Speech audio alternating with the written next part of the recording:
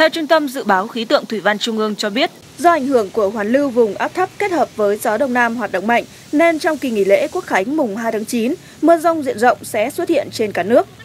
Từ đêm qua cho đến dạng sáng nay, do ảnh hưởng của hoàn lưu vùng áp thấp kết hợp với gió Đông Nam hoạt động mạnh, nên ở các tỉnh phía Đông Bắc Bộ và Bắc Trung Bộ đã có mưa vừa, mưa to, có nơi mưa rất to và rải rác có rông. Trong dịp nghỉ lễ mùng 2 tháng 9, ở khu vực miền Bắc, từ ngày 30 tháng 8 đến ngày 1 tháng 9, trời ít mưa, ban ngày đôi lúc giảm mây và có nắng. Từ chiều ngày 2 tháng 9, các tỉnh phía Nam đồng bằng Bắc Bộ có mưa rào và rông rải rác. Sau đó, mưa lan dần lên các tỉnh phía Bắc, cần đề phòng nguy cơ lũ quét, sạt lở đất ở vùng núi và khả năng ngập úng ở các vùng trũng. Đối với các tỉnh miền Trung và khu vực miền Nam có mưa rông xảy ra, thời gian mưa tập trung vào chiều và tối.